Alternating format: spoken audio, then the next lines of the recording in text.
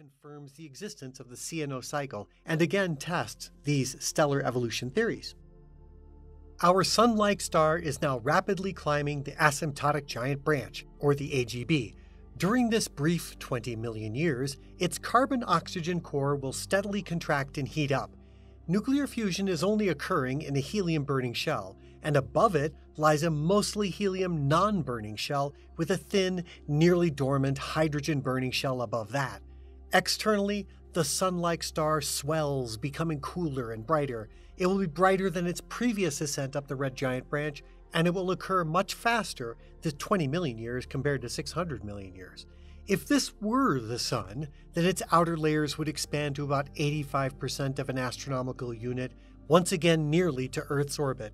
The Earth would no longer be there to greet its increase, having been aerodynamically dragged into its doom during the red giant phase. Now, it's likely Mars's turn to fall inward. Generally, for such stars, the surface temperature drops to about 3200 Kelvin, but the luminosity significantly increases due to the core's incredible heat generated by the helium shell burning. This enhanced luminosity leads to a shorter lifespan in this evolutionary phase because faster burning equals a shorter lifespan.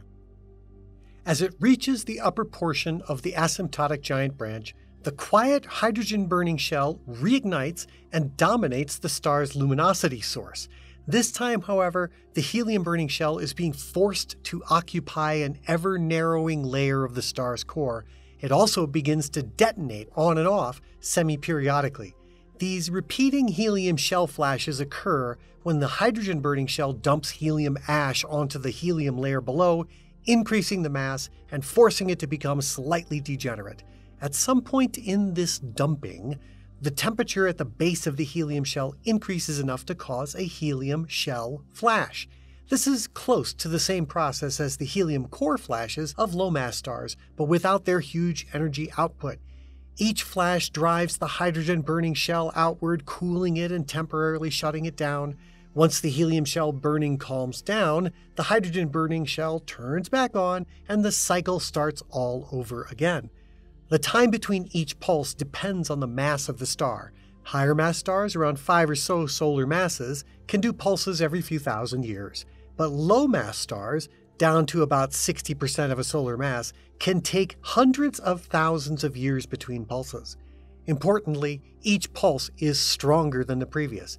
The graph that you're looking at comes from a simulation for a star with about 60% of the mass of the Sun and it comes from a 1982 Astrophysical Journal article written by Icko Iben, a pioneer for such stellar interior modeling. It details the luminosity as a function of time. This sequence for a low mass star lasts about two and a half million years. You can clearly see the effect of the flash radically increasing the luminosity, followed by a sharp drop in luminosity, which are the spikes in the graph. Near the tip of the AGB, the dominant source of the star's energy is coming from the hydrogen burning shell.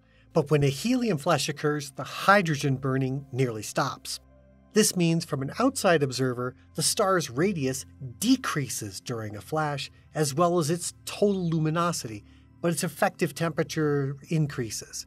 These shell flashes last longer than the helium core flashes, but not by much, as you can see by the slenderness of the spikes.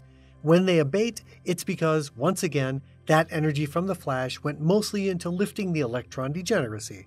Once that happens, gravity wins out and the hydrogen burning shell reaches closer to the core, quickly redominating the total energy output. The star will then return to a new state that's close to its previous surface radius, luminosity, and effective temperature. But now it's a bit more luminous and a bit lower surface temperature. After each flash, the luminosity starts at a lower point, again dumping helium ash into the growingly degenerate helium burning shell. This repetition continues throughout the star's life on the upper reaches of the asymptotic giant branch. For stars slightly more massive than the Sun, say five or so solar masses, these thermal pulses create yet another deep convection cycle, which brings up carbon rich material to the surface. This can be seen in the spectra of red giant stars. Notice in this sample spectrum that we're focusing on the visible wavelength bands, which are between 4,000 and 7,000 angstroms. Nearly all the emission is in the red end. This is typical for such carbon stars, where you see the banding absorption features due to numerous and varied carbon molecules, such as silicon carbide, in the star's expanded envelope. Carbon stars have recently become extremely important for cosmology. The tip of the asymptotic giant branch can be completely characterized by these carbon stars, making this part of the HR diagram a good standard candle distance indicator as long as you have a large enough sample of stars in a distant galaxy.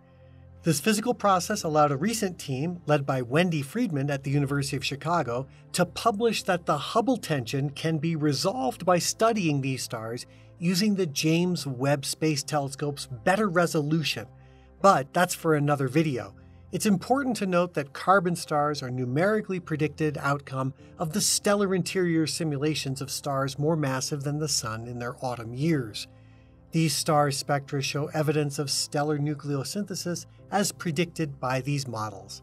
Now, these kinds of stars are very frequently variable stars, meaning they get brighter and dimmer through time. One known group of well observed variable stars are called LPVs, or long period variables. These stars are observed regularly by both professional and amateur astronomers. They range in pulsation timings between three months and about two years. The variable star named Mira, or Omicron Ceti, is one such star. This light curve is provided by the American Association of Variable Star Observers and shows the last six years of data. Most of these observations are visually by eye, either with binoculars or through a telescope. Mira can vary up to seven magnitudes, and remember that a difference of five magnitudes is a difference of brightness of 100 times. So this star can vary over 100 times in brightness over about 300 days. Looking at Mira in ultraviolet and visible compared, we see that Mira's space velocity leads to an interesting self interaction. I've alluded to the mass loss that can occur with these red giant stars, especially the AGB stars, during their thermal pulse phase.